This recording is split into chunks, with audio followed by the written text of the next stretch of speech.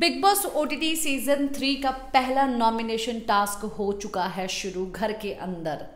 Big boss ने जो है भेज दी है अपने द्वारा एक चिट्ठी, जिसमें नॉमिनेशन टास्क के बारे में सब चीज़ें लिखी गई हैं। एक्टिविटी एरिया में पूरा सेटअप बनाया गया है और फ़ोटो लैब बनाई गई है भाई एक्टिविटी एरिया में।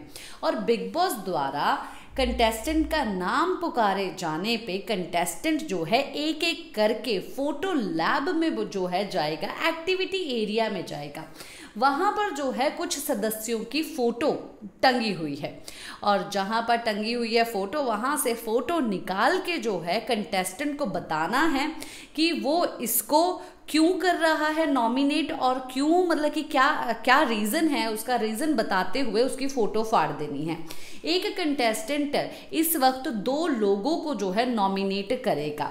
तो ये नॉमिनेशन टास्क जो है इस तरीके से चलेगा। पहले जो है दीपक दीपक को बुलाया है और दीपक जो है एक्टिविटी एरिया में जा नहीं सकता अपने मेडिकल रीज़न के कारण। इसीलिए बिग बॉस ने जो है उनके लिए एक स्पेशल स्पेशल कुर्सी जो है बनाई है, वो है कन्फेशन रूम कन्फेशन रूम में जो है दीपक को बुलाया गया है और वहाँ पर जो है उनका नॉमिनेशन पूछा जाएगा कि वो किस, किन दो सदस्यों को नॉमिनेट करना चाहते हैं और क्यों नॉमिनेट करना चाहते हैं।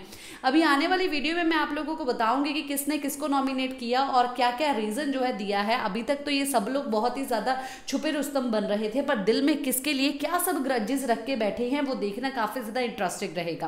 पहला नॉमिनेशन टास्क हो चुका है शुरू और एक्टिविटी एरिया अभी तक दिखाया नहीं गया। पता नहीं भाई दिखाएँगे लाइव फ़ीड में या नहीं, अगर दिखाएँगे तो मैं आपको बताऊँगी, अगर नहीं भी दिखाएँगे तो भी मैं आपको बताऊँगी। इसी के साथ मैं लेती हूँ साथ साथ नमस्कार।